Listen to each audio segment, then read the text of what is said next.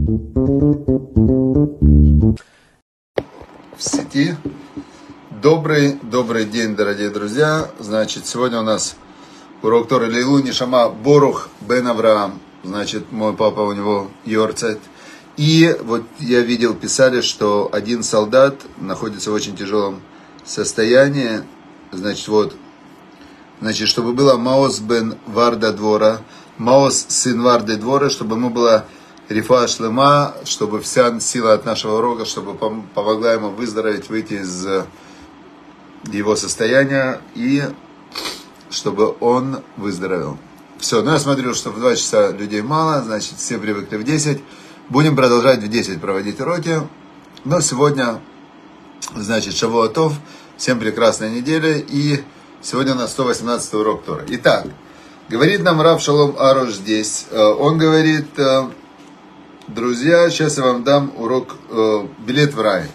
Прямо он так и говорит. Я вам сейчас дам билет в рай. И нам объясняет, что, смотрите, уже мы почти всю книгу прошли, сад благодарности. Почти мы всю книгу прочли. И он говорит, что но большинство людей все равно не верят, насколько просто можно, можно обрести личное спасение с помощью благодарности и благодарения. И он говорит, но есть еще более мощное средство, это уже следующий уровень. Он говорит, это следующее средство, это билет в рай. Он говорит, что это за билет в рай? Эту книгу он написал Бездеяр на опушке леса. И он говорит, что если уединенную молитву совершать по часу в день на протяжении своей жизни – можно достичь полного избавления. И это тогда входной билет в рай, в этом мире. И он говорит, я как-то одному человеку пообещал, что вот если ты будешь час в день ходить в лес и молиться там в лесу, что значит э, уединенная молитва? Она как раз и есть благодарность, благодарность, благодарность, разговор со Всевышним, в именно как э, один на один, в уединенном месте, где ты все рассказываешь, что у тебя есть, что происходит, за все благодаришь, спрашиваешь совета – беседа, такая уединенная молитва со Всевышним. Он говорит, тот, кто так делает, это билет в рай. Он говорит, а если больше часа, позавидуют даже сами, сами обитатели рая будут ему завидовать, если кто-то делает это больше часа. Значит, э, ну давайте посмотрим, как это работает. Как это работает. Э, значит, э, я как-то пробовал делать эту дневную молитву, но я начинал с 10 минут в день. Я думаю, буду на 10 минут в день выходить в лесок, тут рядом у меня лес, буду выходить и благодарить Всевышнего только на природе. Сяду себе на камешек, буду смотреть на травку, на деревья, на цветочки, слушать птичек и говорить э, со Всевышним, как советует Рав Шаламаруш. Э, думаю, начну 10 минут, чтобы не перенапрягаться. Пока туда дойду, пока обратно, все. В общем, э, где-то, может быть, я не помню сколько, 2-3 недели, может быть, я ходил. Потом что-то изменилось, я перестал. Э, действительно, действительно 10 минут. Конечно, без телефона. Обязательно без телефона, это ну, 100%. Э, могу так сказать, что я сейчас просто со стороны как бы пытаюсь понять, как это работает. Почему это именно билет в рай. А, человек живет в, ну, обычный человек, он живет, он, его голова полна забот. Какие-то заботы, какие-то сложности, какие-то там цели, проблемы э, и так далее. И вот, э, значит, э, ему говорят, смотри, выходи на час в лес, на природу и благодари Всевышнего. У тебя будет билет, и ты как будешь чувствовать себя как в раю. Обычный человек говорит, да я не могу, ну как, я занят, я не могу. То есть, мне кажется, что вот этот вот час в лесу, разговор со Всевышним, да, он показывает духовный уровень часть человека. Не то, чтобы он этот час делает человека, а что-то какое-то чудо с ним делает. Если он показывает конкретно твой уровень, насколько ты в данный момент своей жизни э, открыт для того, чтобы соединиться со Всевышним. Или ты весь э, погружен в какую-то трясину материального мира, и ты весь повязан ей. То есть ты, на самом-то деле ты не ей повязан. Чем человек повязан? Все обязательства человека у него в голове. Все проблемы человека у него в голове. Все цели человека у него в голове. Все, все правила человека, принципы человека. То есть человек повязан своей системой мышления. И говорит ему Рав Шаломаруш, э, во-первых, э, просто поменяй фокус с того, чего тебе не хватает, на то, что у тебя есть. Это убери нытье и переведи э, на благодарность. Ну, это как бы логично. То есть, когда ты, когда ты смотришь на окружающий мир, нелогично все время искать пятна и ложки дегтя. Ничего ты, кому ты делаешь лучше? Еще и жаловаться и все. Нет, находи хорошее, радуйся, благодари, кайфуй, ну, пользуйся, у тебя другой жизни-то нету, нет другого момента. Почему ты все время недоволен? Это логично. Но дойти до такого а, момента, что ты можешь выделить час времени – и не бежать куда-то за своими там иллюзиями, идеями, а просто спокойно на природе, а, в, никуда не спеша разговаривать со Всевышним и благодарить Его. Мне кажется, это такой уровень уже высочайший спокойствия и ну, такой высочайший уровень вообще, что человек, который может это делать, он уже ну, на какой-то очень высокой ступени. Вот он говорит, что это билет в рай. Если ты каждый день передаешь дневной молитве, значит ты стремишься приблизиться ко мне. Это как бы Бог так э, говорит человеку. Ведь ты пытаешься обратиться к совершенному раскаянию по часу в день. И если так, это как бы отношение Бога к такому человеку. Я уже не буду судить тебя наверху. Мне достаточно, что ты судишь себя сам. Ведь, ведь вся цель суда в пробуждении человека от сна. Но если человек сам пробуждается, Всевышний терпеливо ждет его. То есть, почему у человека есть проблемы, да? Можно сказать так, что Всевышний человеку, вот если все хорошо, да, очень мало людей, они от хорошо начинают благодарить Всевышнего. Хорошо, они ищут, что у них нехорошо, и все равно сосредоточены на этом.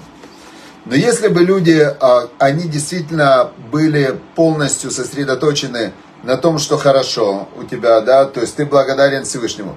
Тебе не надо тогда делать много лишних движений. Вот, например, я практически никуда там не хожу, да, почему? Мне дома хорошо, мне реально хорошо, а, мне очень прекрасно дома с собой. Потом я, если выхожу куда-то, все равно мне, ну, понятное дело, что мне еще лучше. Но раньше я все время должен был а, куда-то бежать, потому что человек, которому плохо, он ищет вовне, что что-то вовне должно, должно мне изменить мое состояние. И он куда-то бежит там за какими-то зрелищами, за какими-то там, э, я не знаю, ищет что-то, постоянно он что-то ищет, но все это потому, что ему плохо внутри с собой. Человек, которому хорошо внутри с собой, он не будет бегать там по все время искать что-то, да? Но когда ему внутри с собой хорошо, и он благодарит за это Всевышнего, и он понимает в этот момент, что у каждого из нас есть какой-то в этом мире талант, который, который э, требует своего, своей реализации. То есть находится тогда человек слышит себя, он находит что-то, что для него действительно реально важно, и он начинает этим реально для себя важным, он начинает заниматься, принося пользу людям, что в принципе на, называется на языке современной психологии, что он нашел свое предназначение, реализовал свое предназначение. Вот все ищут, а где мое предназначение? А, и ищут, э, ориентируясь на то, что им будет легко.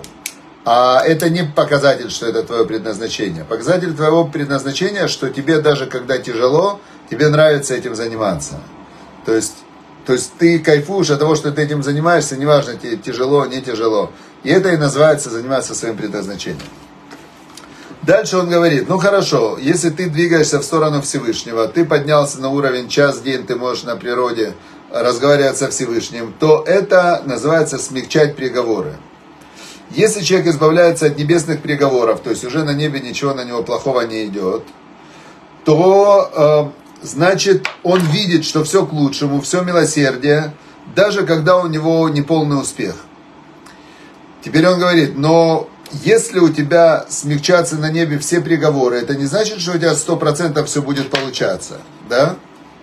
Вот у меня сейчас один э, мой товарищ, он мне, значит, э, рассказал, говорит, я как начал по твоему совету благодарить, у меня, говорит, первый раз за годы, у меня месяц прошел, я весь месяц улыбался.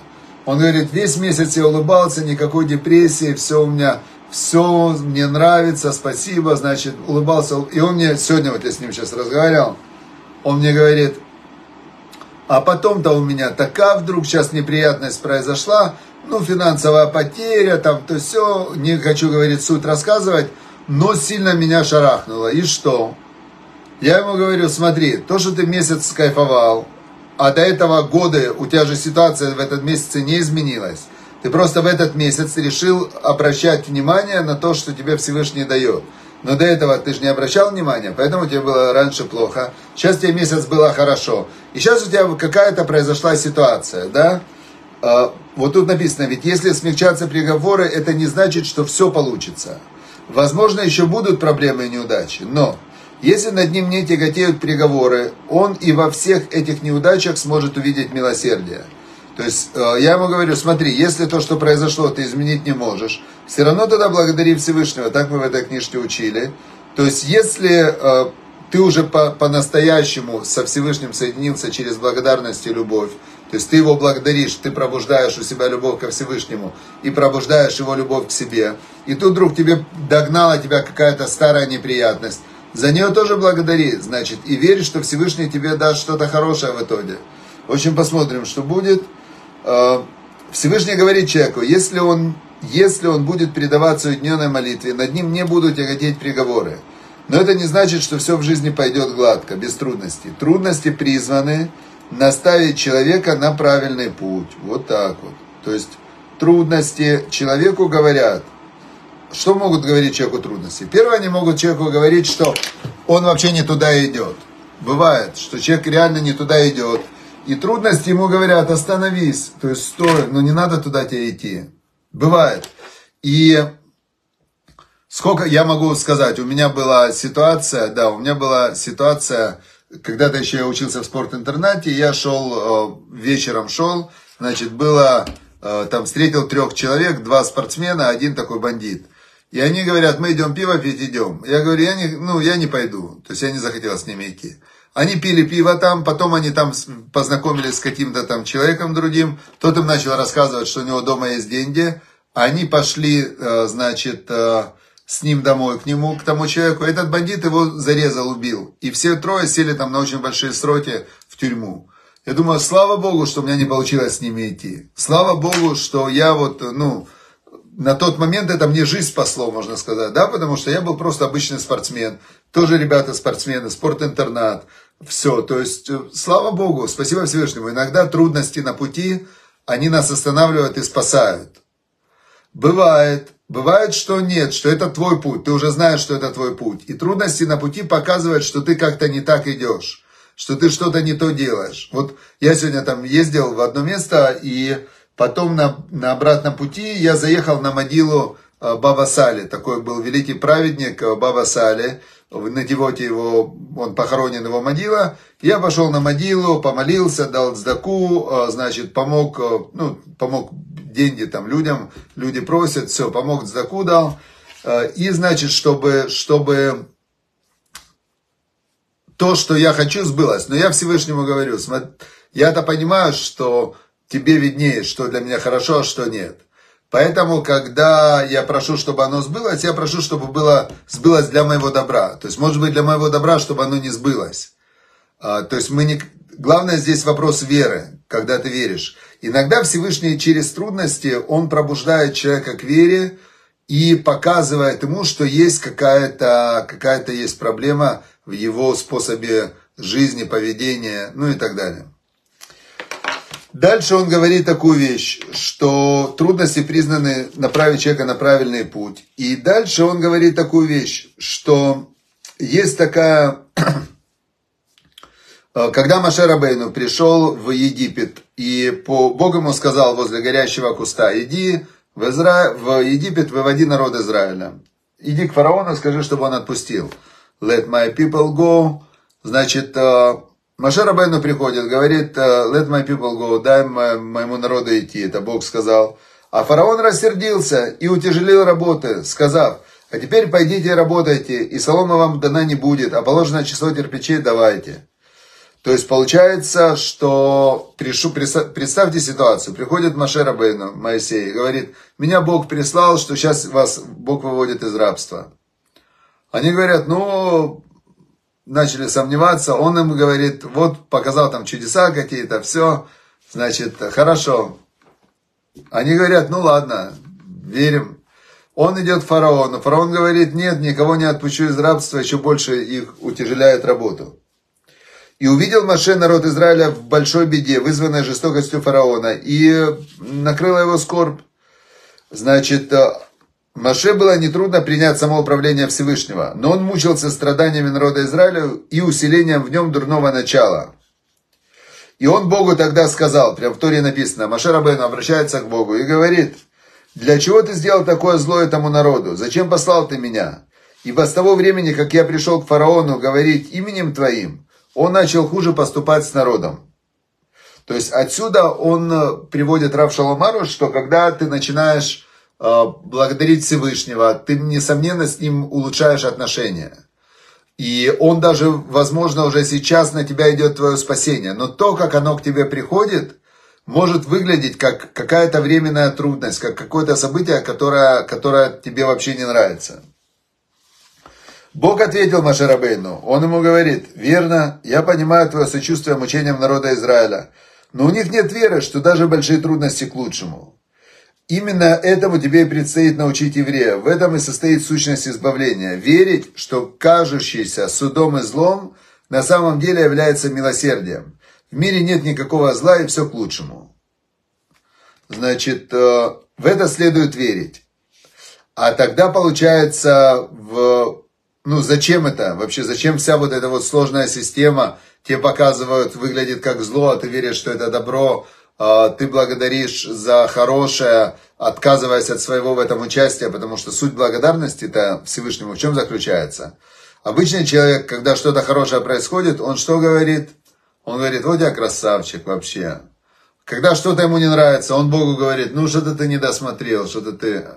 Теперь благодарность Всевышнему, она говорит наоборот. Когда хорошо, спасибо тебе, что это хорошо, что ты дал мне удачу, спасибо тебе. А когда что-то не так, как мне нравится, спасибо тебе за то, что ты мне указал, что я где-то ошибся. Не Бог ошибся, я ошибся. Если у меня что-то не то произошло, значит я где-то ошибся, и спасибо, что ты мне показал, где я ошибся. Теперь получается, выбор существует, когда человек не понимает, но верит. А так как вся система работает для того, чтобы дать э, человеку награду за выбор, а если будет э, это белое, это черное, это добро, это зло, что ты выбираешь? Миллиард долларов или умереть от болезни? Ну, понятно, миллиард долларов и быть здоровым. То есть это не выбор. Выбор это когда есть э, какая-то ситуация равная, когда тебе действительно тяжело выбрать. И вот ситуации, когда есть трудности, а ты выбираешь веру во Всевышнего, вот это как раз э, и есть главное. И об этом молился царь Давид, мир ему, в псалмах. Он Бога просил, не скрывай лицо твое от меня. Лицо твое это милосердие Всевышнего, а затылок означает строгий суд. Значит, царь Давид просил у Всевышнего не скрывать своего милосердия. А, значит, э, не скрывай лицо твое от меня, дай мне увидеть, что все милосердие. Это он имел в виду. А, и тут интересно, когда происходит какая-то неприятность, человек может подумать, что эта неприятность, она она неприятность. Но проходит время, и он понимает, что это было для него хорошо. Это, я, например, счастлив э, вообще всем вот событиям, которые были у меня в жизни негативные, они, каждое из них, оно мне что-то реально давало, э, ну, куда-то меня там передвигало, давало. В итоге, в итоге, слава Богу, все хорошо, да. И я вам скажу даже такую вещь, что если вы все равно оцениваете что-то в прошлом как плохое, то нет смысла. Никакого смысла нет. Почему? Ну хорошо, например, страшное какое-то событие. Давайте возьмем. У человека есть какое-то страшное событие в прошлом, какая-то там, э, ну реально проблема. Не дай бог, кого-то там изнасиловали в детстве. Значит, и как это можно сказать, что это хорошо? Этого не, это, я скажу так, что невозможно сказать, что это хорошо. Я согласен. Но мне кажется, что это невозможно и нереально сказать, что это хорошо. Но если человек все-таки сумел принять это и для себя как бы суметь излечиться от привязанности к этой травме и от того страдания, которое человек носит в себе, не дай бог, да, годы, и он сумел, э, все-таки сумел отпустить то, что произошло, ведь его-то нет, ну, тот отрезок времени, он исчез. И в данный момент человек носит эту страшную боль, он ее носит в себе. И если человек сумел эту боль отпустить и перестать страдать, то в этот момент человек может сказать, э, себе и о себе, что он просто сверхчеловек, и что это действительно сверхсила, сверхпоступок, сверх... Э, и, ну, то есть это что-то сверхмощное, да? То есть, э, когда человек сумел пересмотреть свое прошлое и избавиться от той боли, которая у него там э, копилась, причем, смотрите, как получается, психология современная, как психоанализ и так далее, они говорят, давай залезем в эту боль, и э, в ней, в этой боли, типа, поковыряемся.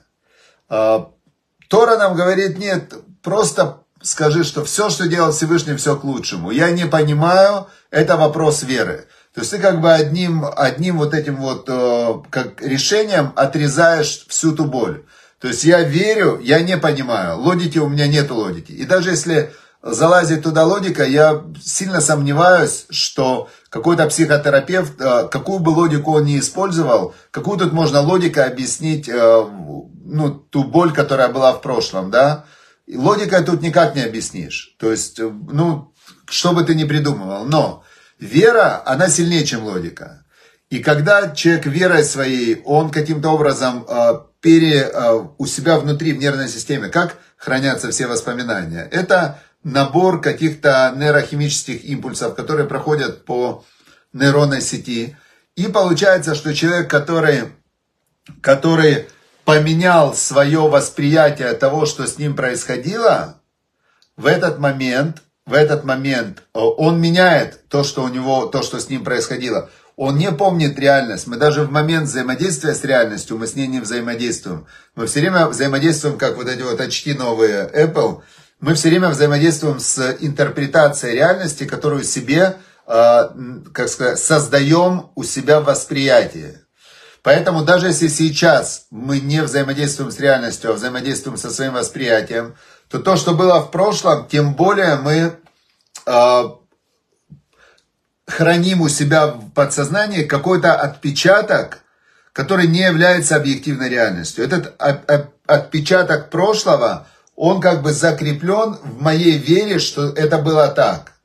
Теперь, если человек меняет веру и говорит, все, что было к лучшему, я не понимаю как, но я знаю, что Бог, Он добрый. Если бы Он хотел уничтожить мир, Он бы его уничтожил. Я верю, что это добро Всевышнего, то Он меняет как бы всю эту кодировку одним махом, и не надо туда лазить. Все, что было, к лучшему. Все, что будет, тем более к лучшему. Потому что если то, что было к лучшему, значит то, что будет. Нет у человека то, что будет.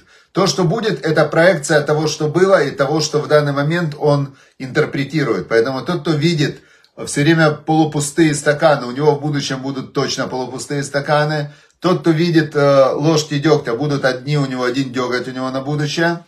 Те, кто видят любовь и благодарность Всевышнему сегодня, чудеса Всевышнего, доброту Всевышнего, Э, величия Всевышнего, личное проведение Всевышнего. Тот, кто фокусируется на этом сегодня и вчера, он это переносит на будущее. Как царь Давид говорил, что Бог это как тень от твоей правой руки. То есть, куда ты, туда он. Как ты, так и он. Мера, которую человек меряет, меряет ему с неба. И, значит, э, на этом мы сегодняшний урок 118 заканчиваем по книге сад благодарности. Нам осталось два урока всего. Я уже подобрал следующую книгу. Значит, следующая книга у нас будет тоже по мотивам э, учения Раби Нахмана из Бреслова.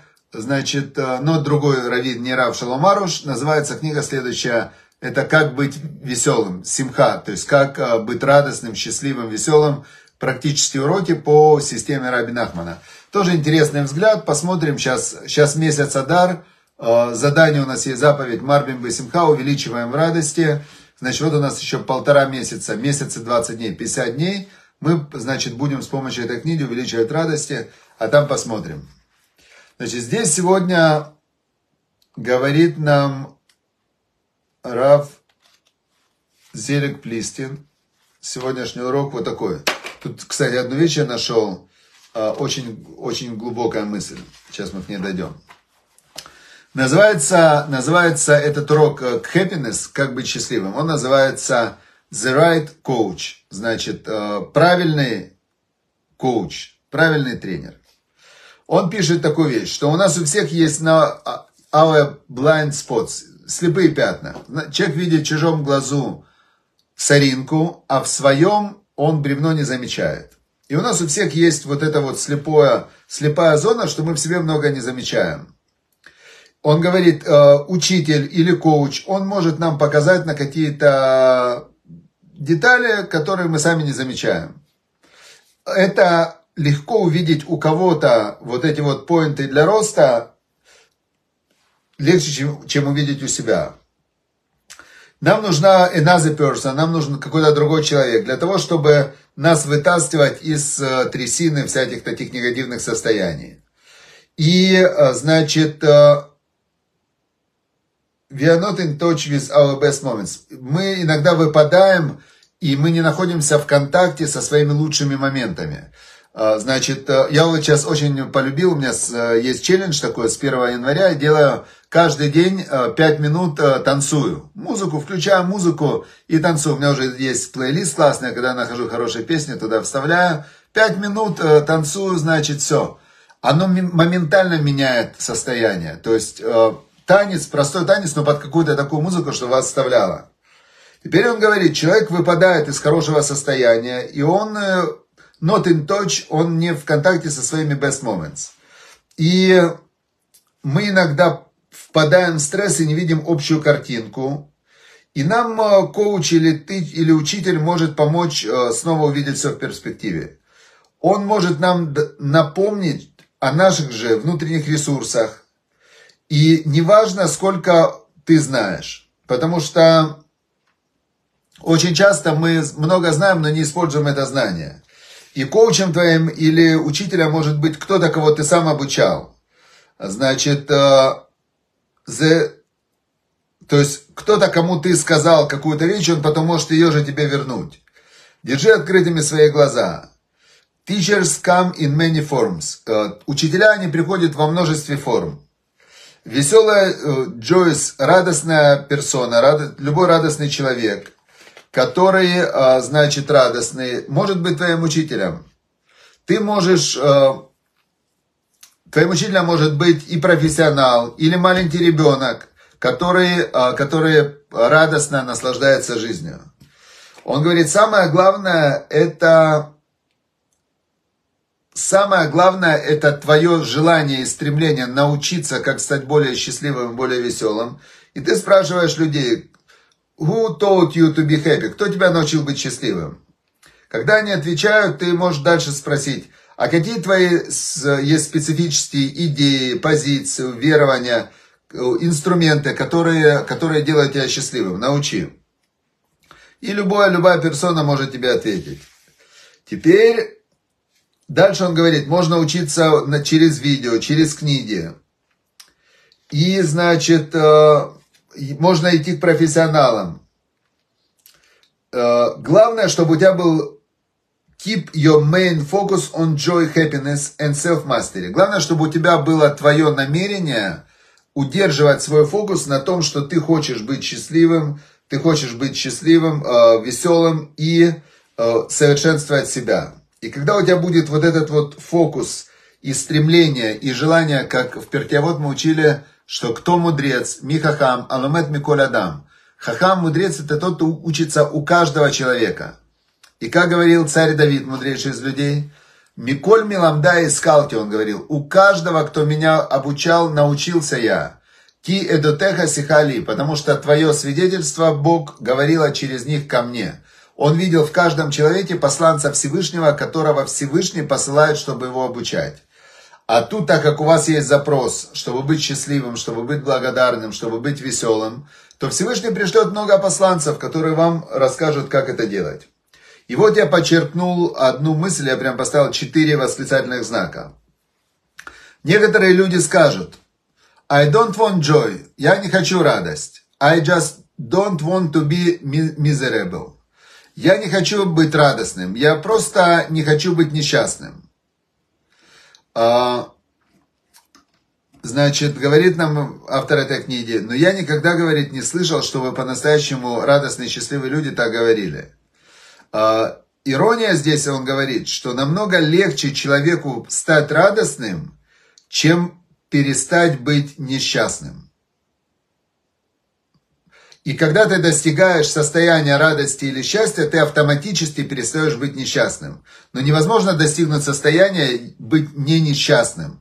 То есть ты можешь быть или счастливым, есть множество способов, как научиться мыслить, думать, действовать, чтобы стать счастливым. Но нет способа, чтобы перестать быть несчастным. То есть перестать быть несчастным – это стремиться быть счастливым. И у меня есть э, в моем тренинге мастер, мастер счастья. Там есть третий инструмент – очень удобные. Это любую проблему моментально переворачивать в цель. То есть, э, как только что-то случается, что вам не нравится, не, э, не позволять автоматически мыслям э, описывать это как проблему, а задать себе вопрос, а что я хочу?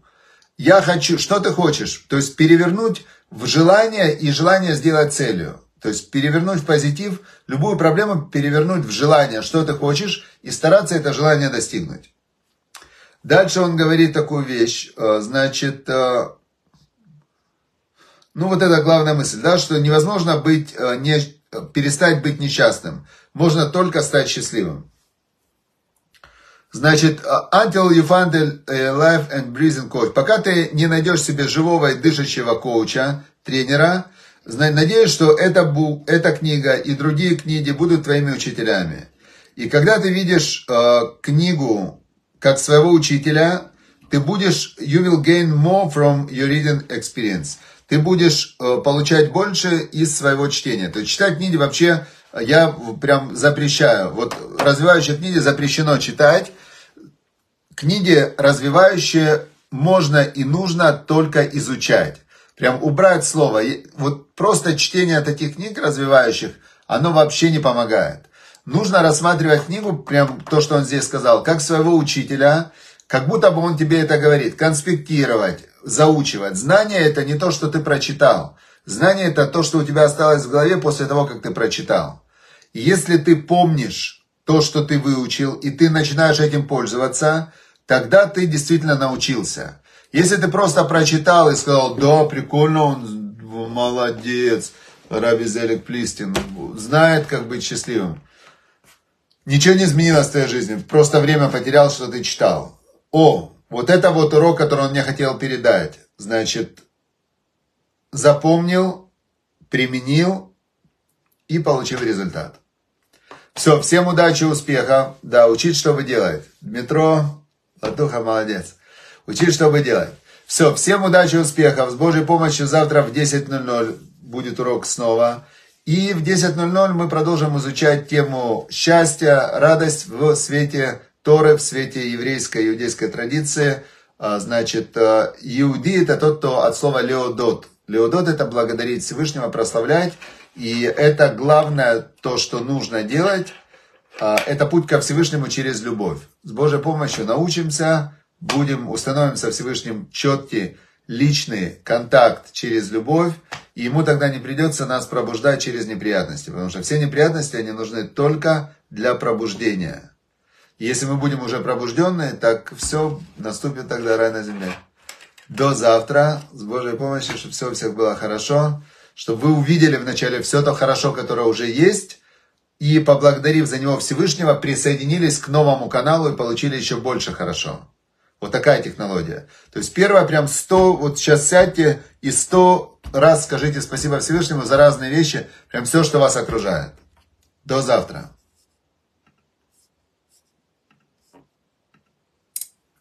Спасибо вам огромное, что вы пришли на урок. Спасибо вообще, что вы приходите, учитесь. Огромное-огромное всем спасибо, те, кто поддерживает твою икру, те, кто помогают, те, кто приходят на уроки, делятся уроками. Всем вам огромное-огромное спасибо.